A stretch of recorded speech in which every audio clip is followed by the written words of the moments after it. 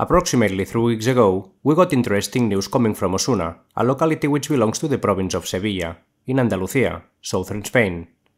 Ancient ruins were uncovered, and what was found was quite unexpected. Nothing less than a Phoenician necropolis dating back to the 5th century BC, roughly 2500 years old.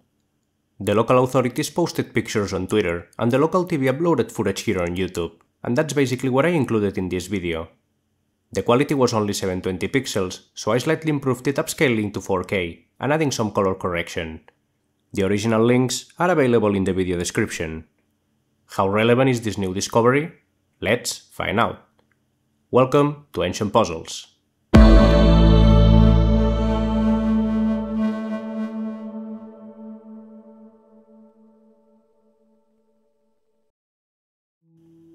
Hello, back with another video. Quite an amazing finding in Osuna, a place with historical remains of many different periods.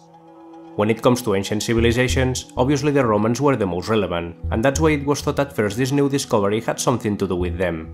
But soon archaeologists concluded they were dealing with Phoenician tombs.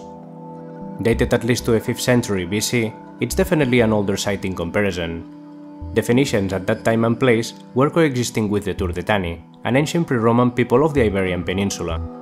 As examples left by them, we have the so-called Toro de Osuna, or Bull of Osuna, and the Osuna reliefs.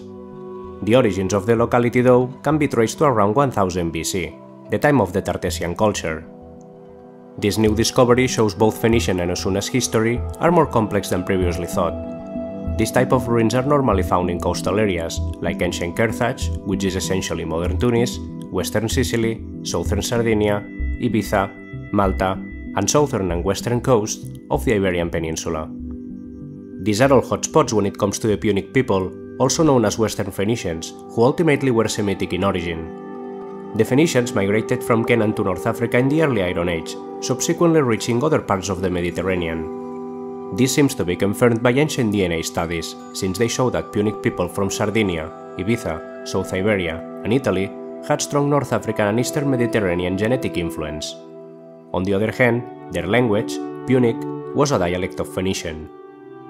It's important to remark that this recent discovery is located inland, something unprecedented by any of the other previous findings in the Iberian Peninsula concerning the Phoenicians, and also quite rare in general. Archaeologists at the site were amazed by this peculiarity, and also the quality of the work. So far, eight burial vaults linked by staircases and atriums have been identified, all carved directly into the bedrock. It is believed both graves and ritual spaces were for very important members of the society. And well, what are the plans for the future of this necropolis? Well, I'm sorry, but I have some bad news.